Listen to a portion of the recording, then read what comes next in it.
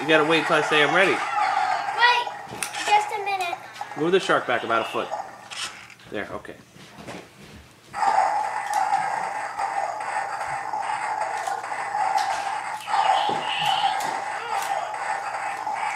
Wow.